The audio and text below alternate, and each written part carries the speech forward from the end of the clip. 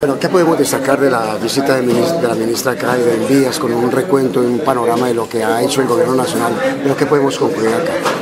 Bueno, podemos concluir que el gobierno y el presidente que más ha invertido en el Valle del Cauca, que más ha invertido en Palmira, ha sido el gobierno de Juan Manuel Santos. Eso es indudable viendo eh, todo el informe que ha hecho el Ministerio de Transporte, tanto en vías terciarias eh, como en vías secundarias. Eh, por ejemplo, la vía de la ruta de la fresa que ya se empezó a, desarrollar aquí en el municipio, que va a servir para que todos los campesinos puedan venir a, los sitios de consumo, que, eso es, que es fundamental para ellos, para que no haya tanto intermediario. O sea, yo creo que eso es algo muy importante. Y no solamente en Palmira, sino en todo el departamento del Valle del Cauca, las inversiones han sido cuantiosas en vías terciarias y, como les digo, también en vías secundarias. doctora, para el próximo domingo, ¿cómo está el mapa político en el Valle del Cauca y convicción como Bueno, yo pienso que ya los colombianos hemos logrado eh, informarnos de qué es lo que ha hecho Juan Manuel Santos, nos hemos logrado informar qué ha sido el el presidente que más inversión social ha realizado, que más inversión en la gente ha podido hacer,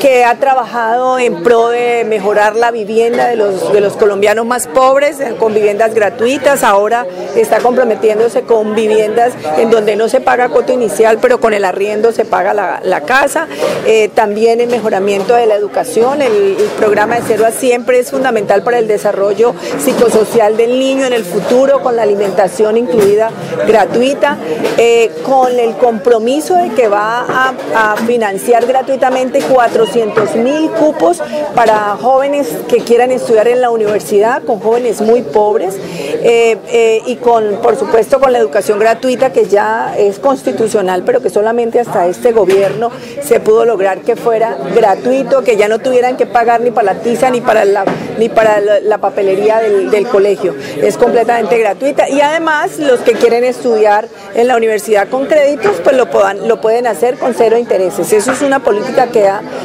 implementado el presidente Santos y, y, eso yo creo que es lo que queremos para nuestros hijos. Además se está comprometiendo algo que me parece muy importante. Primero, ampliar la cobertura de las familias en acción y no solamente ampliar la cobertura, sino duplicar el, el, el subsidio que le da a esas familias en acción. Segundo, aumentar la cobertura también para el grupo de adulto mayor, que me parece importantísimo y hay un seguro que se está comprometiendo el presidente Juan Manuel Santos a hacer un seguro de vida para las madres cabeza de familia de 4 millones de pesos. ¿Eso para qué sirve? Pues es que uno como madre de familia,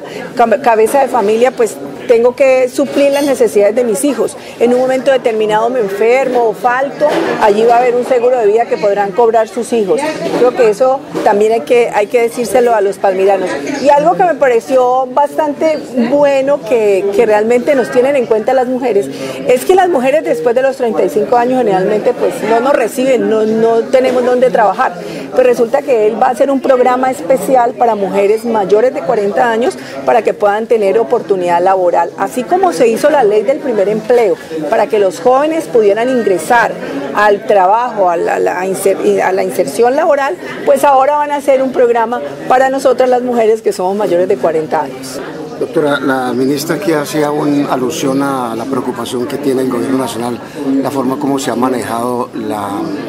concesión de la malla vial el departamento, ¿es importante hacer una revisión en este sentido o ya prácticamente no hay nada que hacer?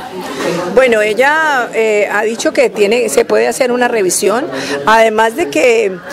que va a decir que se va a hacer una revisión, está diciendo que se va a hacer una revisión en el tema de tarifas diferenciales de pronto para los peajes en Palmira. Yo creo que esa es una de las cosas importantes que se pueden sacar en el día de hoy y que por supuesto hay que insistir para que los palmiranos y la gente de los sobre todo el área rural, no esté pagando peaje cada que, o por lo menos no pagando toda la tarifa al, cuando va a salir de sus corregimientos.